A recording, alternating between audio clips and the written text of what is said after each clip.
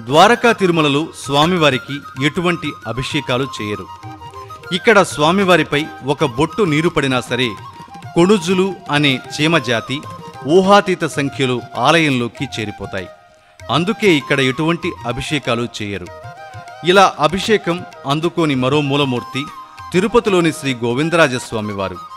గోవిందరాజస్వామివారి మూలమూర్తిని సున్నం గారతో చేశారు కాబట్టి స్వామివారికి జలాభిషేకం చేయరు.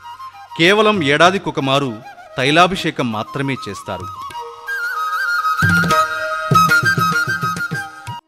ఇక ద్వారకా తిరుమల క్షేత్రంలోని ఆర్షమూర్తికి గడ్డం కింద పచ్చ కర్పూరం పెడతారు. అచ్చం తిరుమల తరహాలోని స్వామివారికి అలా పచ్చ కర్పూరం పెట్టడానికి కారణం ఈ మూర్తిని తిరుమల నుంచి తీసుకువచ్చి ప్రతిష్ఠించారని ప్రతీతి. గోవిందా గోవిందా శ్రీనివాస గోవిందా. ఏ కారణం రీత్యానైనా ఈ ప్రాంతంలోని భక్తులు తిరుమలకు వెళ్ళలేని పక్షంలో తిరుమల స్వామికి చెల్లించాల్సిన మొక్కులను ఇక్కడ చెల్లించడం సనాతనంగా వస్తున్న సంప్రదాయం. ధ్వజస్తంభం వెనుక ఆంజనేయ గరుడ స్వామివారి మందిరాలు ఉన్నాయి.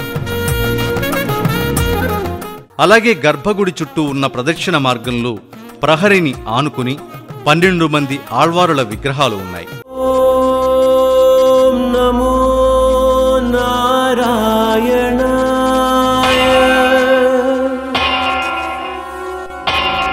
ஓம் நமோ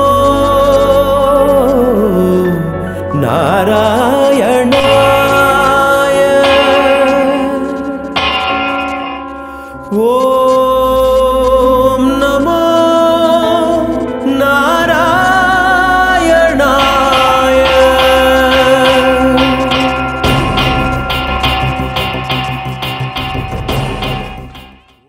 అలాగే దేవాలయ ప్రాంగణంలో ఉన్న వకుల వృక్షం ఏడాది పొడవునా భక్తులకు చల్లని నీడను అందిస్తూ ఉంటుంది. ద్వారకా తిరుమల ఆలయ సంప్రదాయం ప్రకారం ప్రతి ఏడాది రెండుసార్లు కళ్యాణోత్సవాలను వైశాఖ ఆశ్వీజ మాసాల్లో కనుల పండుగగా నిర్వహిస్తారు. స్వయంభూమూర్తి వైశాఖ మాసంలో దర్శనమిచ్చారని సంపూర్ణ విగ్రహాన్ని ఆశ్వీజ మాసంలో ప్రతిష్ఠించారు కాబట్టి రెండు మాసాల్లో కళ్యాణోత్సవాలు నిర్వహిస్తున్నారని చెప్తారు. కనుమ రోజు మాత్రమే గిరి ప్రదక్షిణగా భక్తులకు దర్శనమియ్యడం విశేషం. ఇలా ఎన్నో విశిష్టతలతో అలరారే ద్వారకా తిరుమలలో బ్రహ్మోత్సవాలు సైతం ఏడాదికి రెండుసార్లు నిర్వహిస్తారు. ఈ బ్రహ్మోత్సవాలు శుద్ధ దశమి నుంచి బహుళ విధియ దాకా జరుగుతాయి. ఇలా ఒకే క్షేత్రంలో ఏడాదికి రెండు బ్రహ్మోత్సవాలు జరపడం ఒక ప్రత్యేకత అయితే అధిక మాసం వచ్చినప్పుడు మూడుసార్లు జరపడం మరో విశేషం.